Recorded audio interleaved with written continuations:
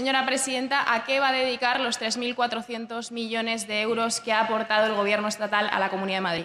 Señora presidenta. Muy buenos días a todos, señorías. Muchísimas gracias. Eh, sobre todo lo vamos a destinar a políticas de educación y de sanidad. Y después vamos a seguir identificando todas aquellas áreas afectadas por el COVID-19 distribuido a través de las distintas consejerías de este Gobierno. Sobre todo lo que queremos hacer es atender al coste sanitario sobrevenido, garantizar una vuelta segura a las aulas, ampliar los niveles de protección social, impulsar la reactivación económica y, sobre todo, cubrir la merma de ingresos tributarios causados por la menor actividad empresarial. Gracias.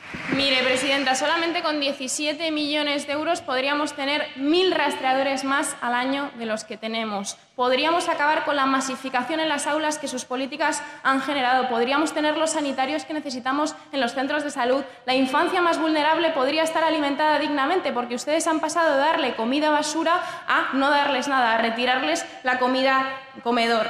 Pero en vez de eso, ustedes han hecho lo que siempre eh, han hecho, que es precisamente eh, utilizar la crisis para destruir lo público, para atacar lo público y para favorecer a sus amigos. La empresa que fletó los aviones provenientes de China facturó más de un millón de euros por cada viaje, más del doble de cualquier otra empresa. El pelotazo urbanístico de Valdebebas, eso que ustedes llaman hospital, 50 millones de euros. Y FEMA, la operación propagandística más cara del mundo, 60 millones de euros. Y 13 millones de euros para contratos en Florentino. Siempre han hecho todo así.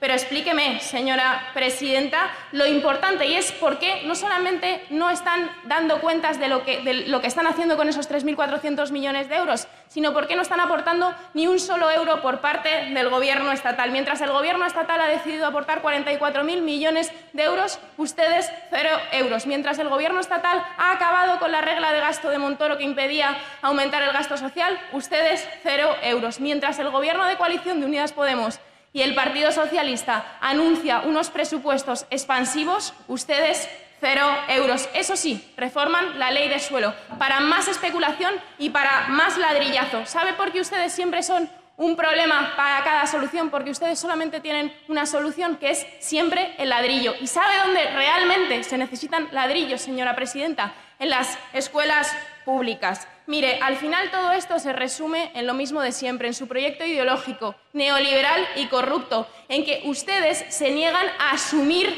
lo que ha asumido la mayoría de la ciudadanía después de la crisis del COVID, y es que para proteger los derechos y las vidas de todos se necesita que los que más tienen más aportes. Se niegan a que el 1% pague impuestos como todo el mundo, como todos los trabajadores y tengamos unos servicios públicos en condiciones. Mire, este fin de semana usted nos aportaba otra de sus eh, usuales burradas en una entrevista. Decía eso de que no se trata de confinar al 100% para curar al 1%, como si esas 66.000 vidas no importasen para nada. Eso no se atreve a decir solo a la cara a los familiares de las víctimas que han muerto, muchas de ellas en las residencias gracias a sus protocolos. Pero le digo una cosa, señora presidenta, aplíquese usted esa frase. No se trata de joderle la vida al 99% para proteger al 1% para el que ustedes gobiernan.